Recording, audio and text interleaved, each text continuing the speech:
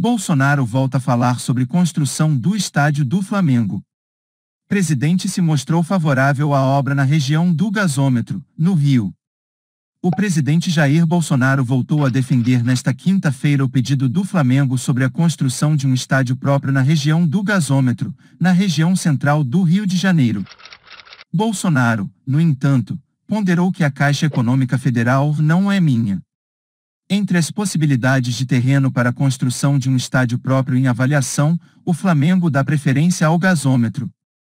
O local pertence ao governo federal, tal qual o terreno em Deodoro, de propriedade do Exército, com a diferença de uma estrutura melhor de transporte e proximidade à região central do Rio e à rodoviária Novo Rio.